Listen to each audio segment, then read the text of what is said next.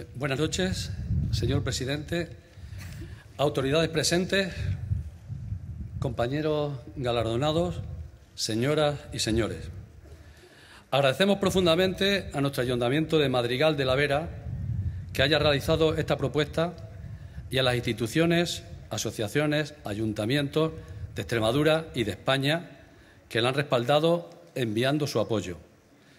Nos sentimos muy honrados con este galardón que entendemos como un reconocimiento al trabajo desarrollado estos 37 años, intentando contagiar a los extremeños nuestro entusiasmo por la música con la que hemos crecido en nuestros pueblos de la Vera, ilusionando especialmente a las generaciones jóvenes, pero sin defraudar a los mayores, con los valores culturales de este magnífico legado que define la personalidad musical de nuestra tierra y que nosotros consideramos perfectamente válido también en la actualidad, ya que es un patrimonio cultural que debemos salvaguardar y transmitir a las generaciones futuras. Me gustaría que se acercaran mis compañeros, Nino, José y Rafa, ya que juntos nos impusimos este compromiso hace 37 años. También Carol e Inés, algunos años menos, evidentemente. Queremos recordar a los compañeros que estuvieron con nosotros en las distintas etapas del grupo, a tanta gente que nos, que nos presta su colaboración, a los poetas que nos dejan sus letras y también un sentido recuerdo para esos rondadores anónimos que consiguieron preservar esta herencia musical en las últimas décadas, especialmente difíciles por el poderoso predominio de la música comercial. Queremos dedicarles a todos, también a ustedes, una de nuestras primeras composiciones en ritmo de jotilla, el ritmo de esta tierra, y con el silbido característico de los cabreros, homenaje a nuestra sierra, techo de Extremadura, la canción Amanecer en Gredos.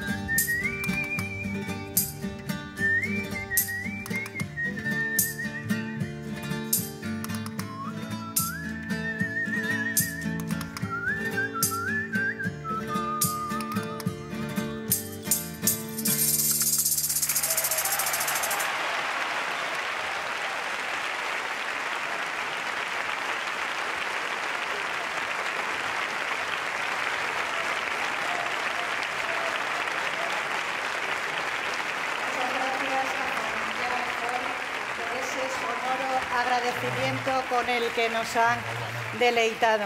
Ese silbo de gredos que seguro que a todos eh, les gusta.